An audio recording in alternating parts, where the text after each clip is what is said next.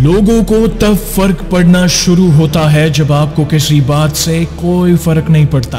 किसी की बात का इतना एनालाइज नहीं करना चाहिए कि दिमाग का पैरालाइज हो जाए। झुकने से रिश्ता गहरा हो तो झुक जाओ, पर हर बार आपको ही झुकना पड़े तो रुक जाओ। आधी ज़िंदगी हमने गुजार दी पढ़ते पढ़ते, और सीखा क्या? एक दूसरे को नीचे दिखाना। रुकावटें होंगी, संदेह करने वाले होंगे, गलतियाँ भी होंगी। लेकिन कड़ी मेहनत के साथ कोई भी ऐसी सीमाएँ नहीं है जिन्हें आप छू ना सके। रिश्ते निभाने के लिए दिमाग नहीं, बल्कि दिल साफ़ होना चाहिए। सच कहो, साफ़ कहो, सामने कहो, जो अपना होगा वो समझेगा, जो पराया होगा वो छूटेगा। इज़्ज़त तो सबको चाहिए, लेकिन लोग वापस देना भूल जाते हैं। बेइज्जती का जवाब बड़ी इज़्ज़त से देकर देखो, सामने वाला खुद शर्मिंदा हो जाएगा। माँ बाप के साथ आपका सलूक वो कहानी है, जिसे आप लिखते हैं और आपकी संतान आपको पढ़कर सुनाती है। कौन क्या कर रहा है? कैसे कर रहा है? क्यों कर रहा है? इन सबसे आप जितना भी दूर रहेंगे, उतना ही खुश रहेंगे। ज़िंदगी में कभी अपने किसी हुनर पे घमंड मत करना, क्योंकि पत्थर जब पानी में गिरता है तो अपने ही वज़न की वजह से डूब जाता है। समझदार एक मैं ही हूँ, बाकी सब नादान। बस इसी भ्रम में घूम रहा आजकल हर इंसान। ईश्वर के न्याय की चक्की थोड़ी धीमी ज़रूर चलती है, पर पीसती बहुत बारीक है।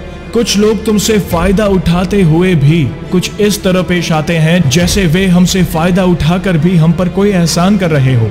बदला लेने में क्या मज़ा है? मज़ा तो तब है जब तुम सामने वाले को बदल डालो। कोई माने या ना माने, किंतु सच्चाई यही है कि सीधे साधे लोग ही अंततः टेढ़े और कुटिल लोगों पर भारी पड़ते हैं। ज़िंदगी को इतना सस्ता ना बनाओ कि दो कौड़ी का इंसान उससे खेल कर चला जाए। तुम कब सही थे, इसे कोई याद नहीं रखता। तुम कब गलत थे, इसे कोई नहीं भूलता।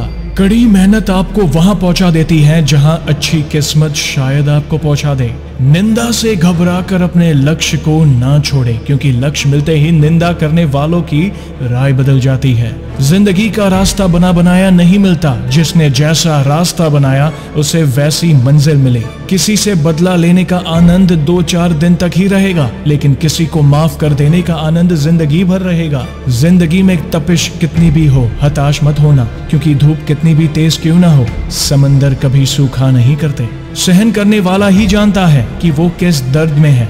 दुनिया तो बस उसकी झूठी हँसी देखती है। जो व्यक्ति सब्र के साथ इंतज़ार करना जानता है, उसके पास हर चीज़ किसी न किसी तरीके से पहुँच जाती है। हर सफल व्यक्ति के भाग्य में ये दो चीज़ें ज़रूर आती है, चर्चा और आरोप।